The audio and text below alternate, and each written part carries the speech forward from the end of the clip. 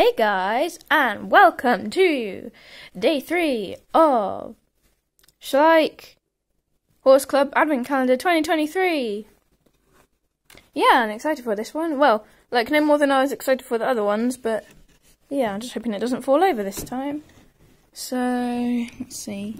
Here's what we got in day one. Beautiful horse. Normally they save that for day 24, well, apart from last year, and this year too. And then day two we've got apples, um, so, wonder what we're gonna get in day three. Oh, there it is. Okay, well, that was an easy one this time to find. Because normally I struggle with it, but yeah. And. Open. Open sesame. Is it in a bag? Oh, no, it's not in a bag. Ooh, it's one of these.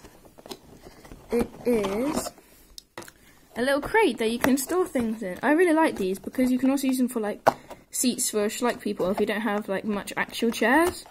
And also even if you do, if you want to use it as like a as like um I don't know, just like a makeshift seat. It's still really cool and they can like stack on top of each other, in fact. And the apples can go in them. I wonder if we'll get any other fruits or veggies.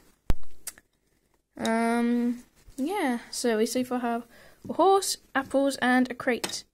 So yeah, that's pretty cool. I'm I'm very happy with that. I really like them. So yeah, that was um, day three of Schleich Horse Club Advent Calendar 2023. Like and subscribe. Bye.